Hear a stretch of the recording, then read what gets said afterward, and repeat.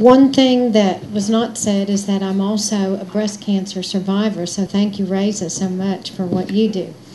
Um, although I wasn't obese when I got it, but um, you know, um, we really need all the research we can get. Um, anyway, I um, I did have to um, stop uh, my uh, my work in in child abuse, regretfully, because I was just doing too much, and I had to choose between those two subspecialties. But I still do a lot of general pediatrics, and um, and then I do my subspecialty work also in um, childhood obesity.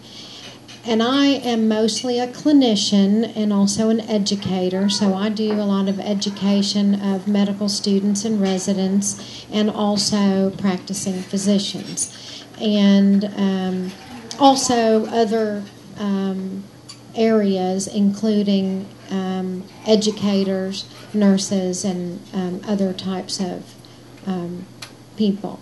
And I really love what I'm doing but it is taking care of children and families that I certainly love the best. So I I love taking care of complex medical problems. Um, I love it when I'm in the hospital and I get somebody right out of intensive care and they've been in um, a motor vehicle accident and they've got multiple problems. But I find childhood obesity is one of the most complex medical problems that there is and it affects every organ system in the body from the brain, the heart, the lungs, uh, the kidneys, the liver, the skin. It covers every um, organ system in the body. Um, I find obesity to be a three legged stool. It is not just um, diet and exercise, but it's also psychological. And if you don't address all three areas, uh, including the mental health, you will not have good weight management.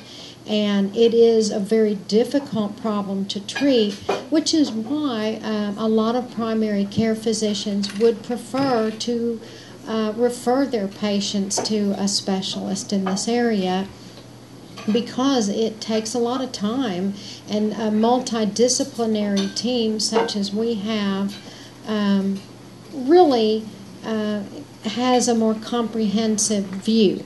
However, the push nationwide is for primary care doctors to step up and take care of their own patients and give us the more complex, difficult ones that are not responding to treatment.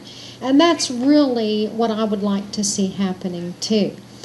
And I've really helped um, try to educate primary care doctors how they can treat their own uh, overweight and obese pediatric patients.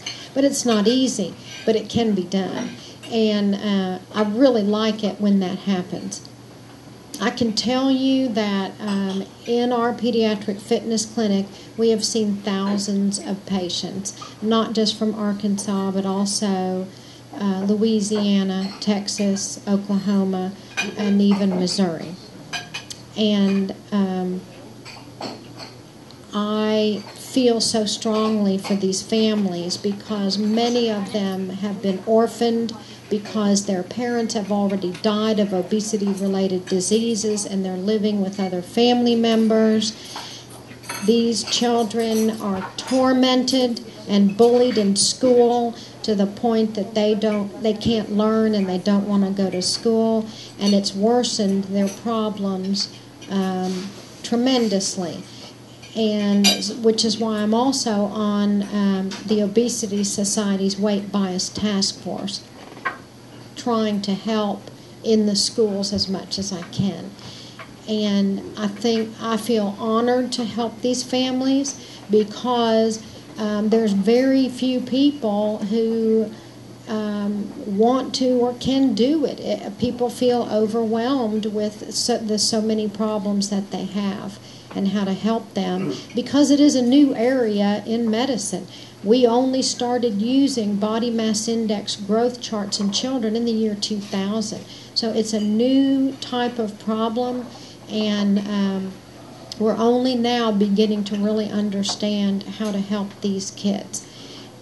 The um, around the nation, a lot of the people that I know who are treating childhood obesity have um, a lot of feelings that we have to uh, really look at setting the bar lower, not really look at dropping their BMI as much as changing the um, parameters of, say, their blood pressure, their blood lipids, um, their quality of life, because it is very difficult to drop their BMI. I feel differently because I feel like it's our opportunities to save their life. I don't want them to come to me with a tracheostomy in their neck because they can't breathe at night. But I have those patients in my clinic. I don't want them to come to me already having clogged up arteries and they're not even out of their teenage years and they're going to have a heart attack before they hit 30. This is not right. And so I try really hard to help them slim, dra- slim down, but we do not emphasize the weight, we emphasize permanent healthy lifestyle change, not just for the child, but the whole family. And um, so we think we're on the right track, but we try to keep an open mind because we know that um, the um, book has not yet been written on really how to treat this problem, and doctors alone can't do it. It takes the family, it takes the community, the schools, it's going to take the food industry, it's going to take legislation, it's going to take a whole lot of change in a whole lot of areas to really make a permanent fix on this problem.